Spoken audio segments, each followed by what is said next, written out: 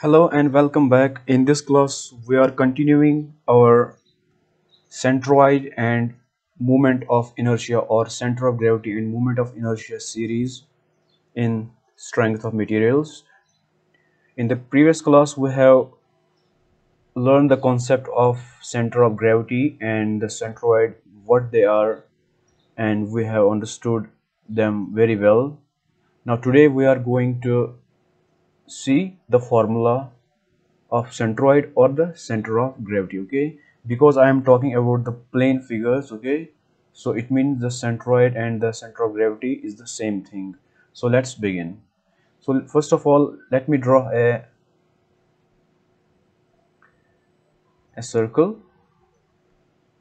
Something i draw a plane figure like this.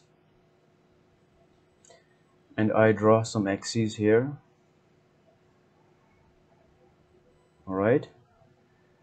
Let this be x-axis this be the origin of the axis and this be the y-axis that is ox is the x-axis oy is the y-axis now i want to find the centroid or center of gravity of this body okay? To do that i am going to divide it into simple parts okay? Like this. Oh let me something like this. Okay.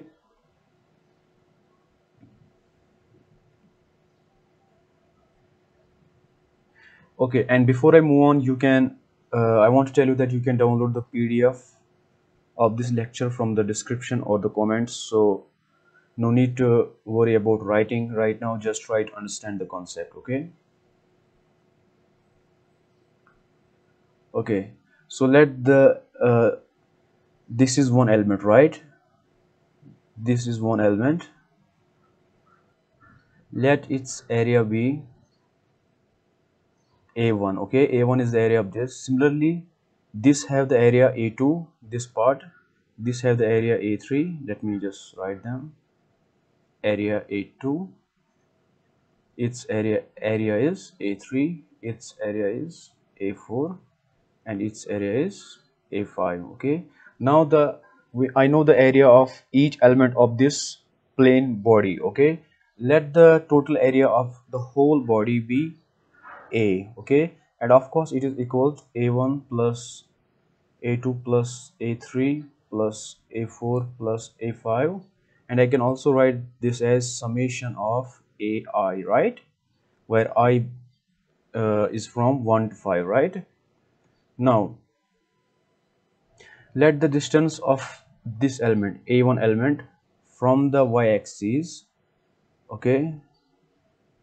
From I'm, I'm just guessing this is the center. Okay let me use the another color first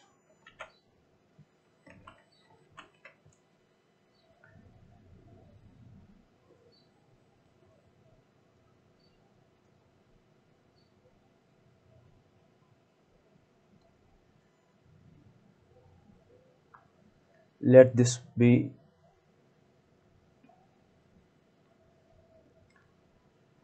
x1 and let the distance of a2 element from the y-axis from the y-axis be x2 and let the distance of center of a3 okay from the y-axis be x4 okay? And now this is the distance of this from the y-axis be x5 and oh sorry this is x3 and distance of a4 from y-axis be x4 and so on. And this distance be x5 okay? Now if i talk about the moment okay? Moment of a1 element about y-axis okay. Moment of a1 element from y-axis right? Y-axis or oy axis right? This is oy this is the y-axis how much what is the moment of this? Moment is what? Moment is area a1 multiplied by x1 right? Similarly i can find the moment of a2 about y-axis as uh, a2 x2 and of the a3 i can find it as a3 x3 and a4 i can find it as a4 multiplied by x4 and a5 is a5 x5 right? Similarly i can find the sum of moments right? Sum of moments of elements about y-axis right? What is going to be the going to be the sum? It is going to be a1 x1 plus a2 x2 plus a3 x3 plus a4 x4 plus a5 x5 right? This is the moment of a1 element. This is about y-axis. This is the moment of what a2 element about the y-axis and so on and so forth. And i did the sum okay? Sum of all these moments sum of moments of all these elements about the y-axis is all of this right? Now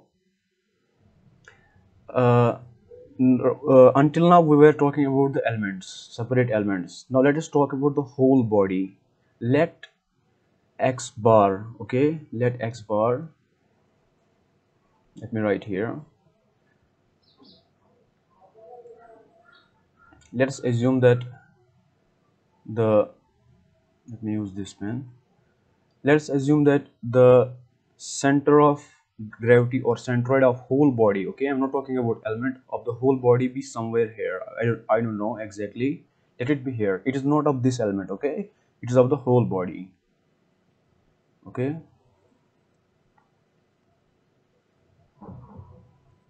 and its distance from the y-axis be x bar okay?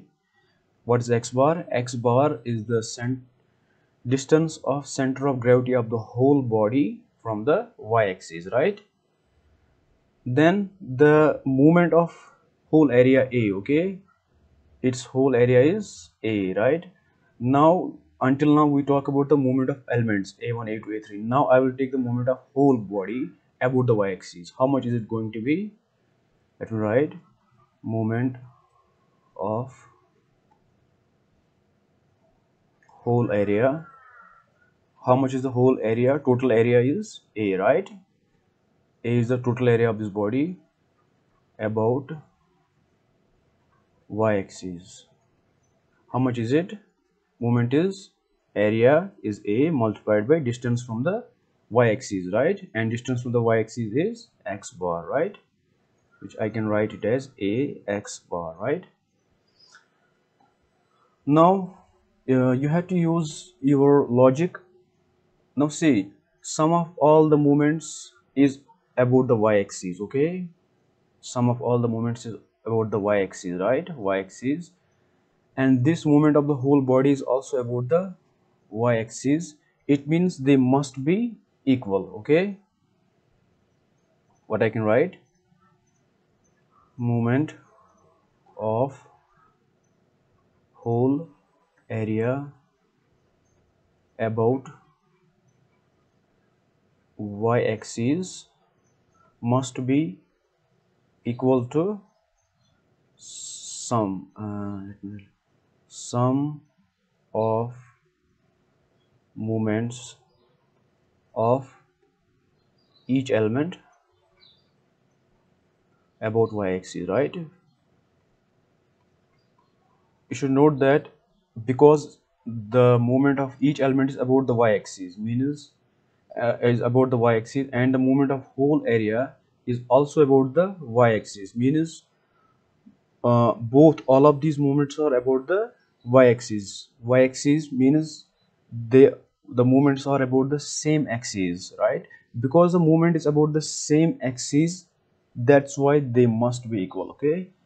I cannot take the moment of whole area about this x-axis equal to moment of elements about y-axis okay? The axis must be the same okay? Then they are equal. So i can write now moment of whole area about y-axis is how much? How much? This ay bar right it means a a not a bar a x bar is equal now sum of moments of each element about y axis is this right? A1 x1 plus a2 x3 right? And i can simply write this because this is a1 x1 a2 x2 a3 x3 i can all of these i can write it as uh, in short form i can write it as summation ai xi okay ai where i uh, begins from 1 and ends at 5 okay? So if we take the value of i to be 1 then it will be a1 x1 because it's summation so here will be plus then i will be 2 it will be a2 x2 that is this term it is summation so again another plus now i will be another what? 3 a3 x3 so this aixi is the short shortcut of writing all of this okay? So i can write here it is equal to summation ai xi right? Now from here i can write x bar to be what? Summation of ai xi divided by a. And here we go we found the distance of centroid or center of gravity of this body from what? From the y-axis right? This x bar when you see the x bar it is uh, it is the, the x bar is what? X bar is the distance of center of gravity as seen here. X bar is the distance of centroid or center center of gravity of the whole body from the y-axis okay? When there when there is x bar it is y-axis okay? Similarly using the same procedure okay? Using the same procedure i can find the moment uh, what you say uh, movement of each element about this x-axis now okay? Until now we were finding about the y-axis okay? Then i will say uh, this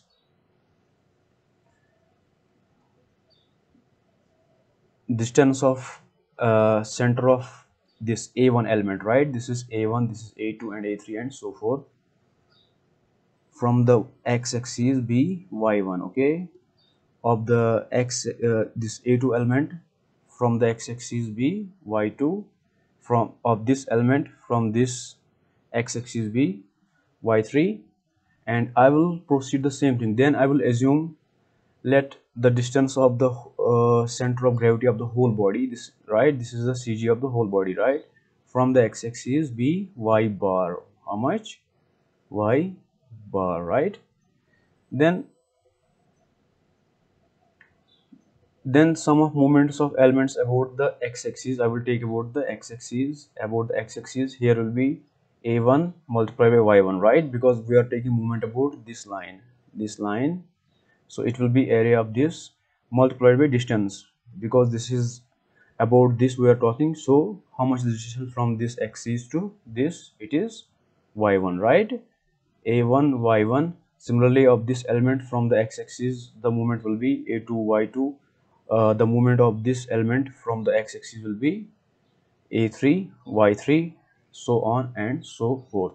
In short we are going to be get at the end will get x y bar is i'm looking at this. I will get instead of x bar i will get y bar is equal to summation of ai yi divided by a. Of course where a, a is the total area which is equal to a1 plus a2 plus a3 plus a4 plus a5 okay? Now this we got the another coordinate of the centroid. Therefore what we get let me write here. Let me drop this first.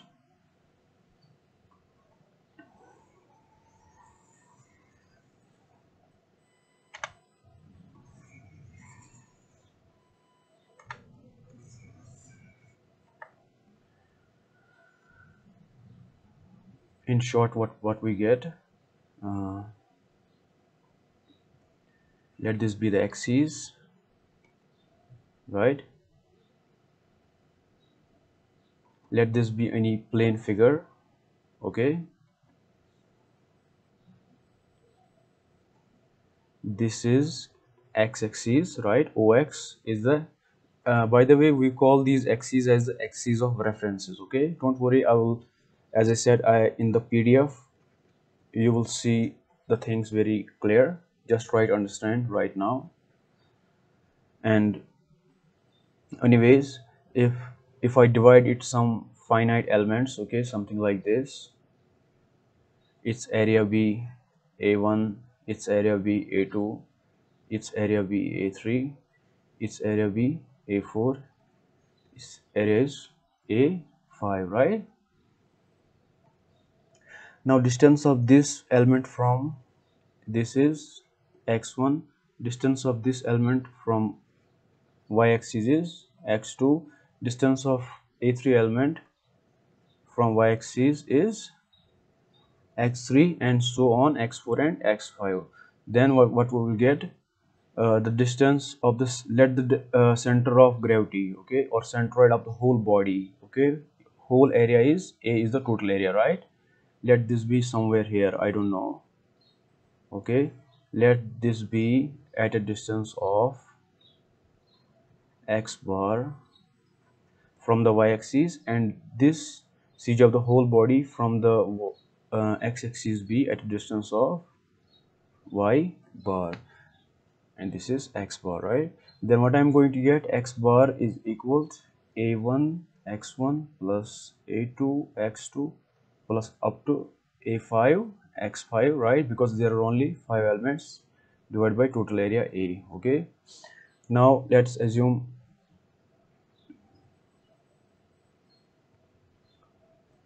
now let the distance of a1 element from the x-axis now okay? Now x-axis be y1 a2 element the distance be y2 and this element from the y-axis be y3 right? And let's assume and so on uh, y4 and y5 right now let's assume the distance of the center of gravity of the whole is somewhere here and its distance from the y-axis x-axis be y bar okay?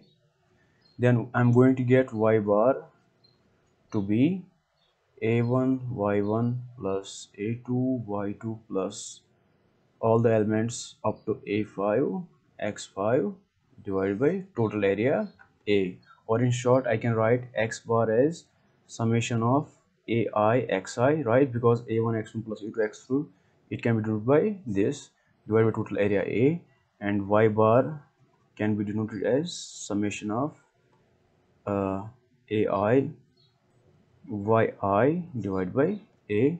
So these are the two coordinates of the centroid or center of gravity of the plane figures okay? Whenever you want to find the center of gravity of any figure okay? Like if we have a T section okay? We will follow the same procedure like we can divide it into the symmetric figures okay? Like I can find the area of this right? Because this is a rectangle this is another rectangle. Its area is simple. Let this be length and let this be base okay? So area of this one be a1 is equal to lb right? If this is l2 so uh, i'm going to do that in the next class okay the thing is that we are going to follow the simple procedure the same way we are going to assume this reference axis somewhere. Let this be x-axis okay? Let this be y-axis uh, we will see in the next class the simple procedure is this. X bar is a1 x1 y bar is a1 y1 divided by a okay?